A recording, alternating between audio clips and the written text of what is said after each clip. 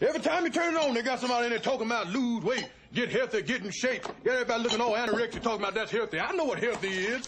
If this dinner scene from the movie Nutty Professor resembles your Thanksgiving feast, then don't be surprised if you packed on a few extra pounds. Personal fitness trainer Caitlin Anderson says the Thanksgiving weekend is a notorious period for gaining unwanted weight. People can gain anywhere from two to five pounds in a weekend.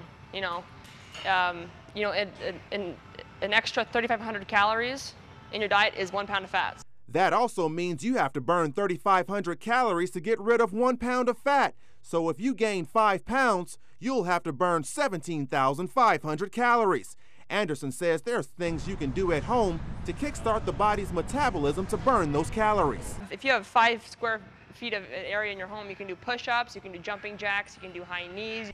And if you have a family member or friend who also overindulged at the Thanksgiving table, try doing something active together. Go for a walk, or go for a jog, or go play football together, you know, go to the park, types, things like that. But if the gym is your scene of choice, then using cardio equipment is always an excellent way to burn calories, especially walking the treadmill. You should always power walk and then slow walk, and then power walk and then slow walk.